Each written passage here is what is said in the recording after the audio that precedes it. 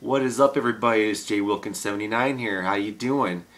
I haven't done a movie review in uh, seems like five years. Uh, that's not true though, but it does seem like a while. At least I say two, almost three months.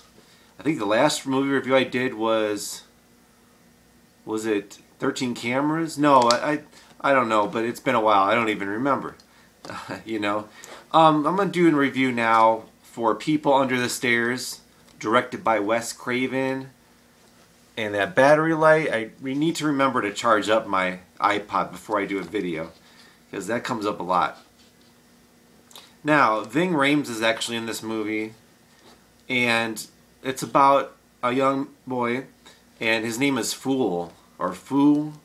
I was surprised they would make that as his name. That was kind of weird.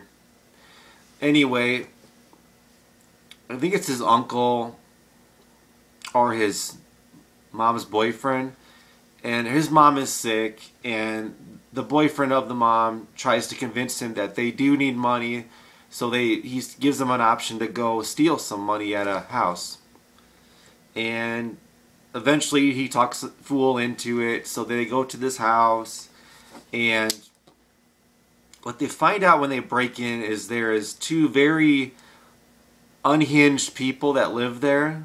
I think they're brother and sister. And anyway, they have children in the house that are hidden behind like this wall. Like they kind of look like monsters, some of them. Like I don't know if they turned into monsters or what the reasoning was behind that. So Ving Rhames, you know, goes in the house with the with the boy fool and I won't tell you what happened to Ving Rhames because I don't want to give it away. I try not to give spoilers, guys, out there. I know sometimes I've had problems with that in the past. But, and then Fool, they finally see him and they try to find him and kill him. And then the brother and the sister try to help him out to get away from these evil, this evil family that they're in. Water break, sorry. Now, 91 I think was was that the same year as Candyman? I think that maybe 92, 93. It kind of has the same feel of that movie, the cinematography, I guess I would say. And I like the feel of it. It came out in 91, so back then, you know, as I grew up in the 90s, there was a lot of great movies to watch.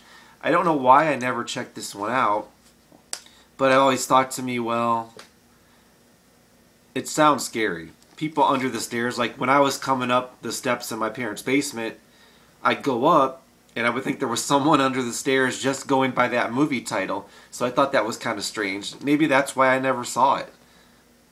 That could be. So out of five stars, I'll give this one. I'll give it. I want to give it four, but I think I'm going to give it three and a half. It was good, but it wasn't great. I probably Eh, I'm not saying I'll never see it again, but not for at least a while. So, The People Under the Stairs, three and a half stars. This has been my short movie review show, Jay Wilkins 79. Thanks for watching. Like, comment, subscribe, all that stuff. Dislike. Like Llama Monster says, do what makes you happy. The world will keep on turning. Peace. See you later.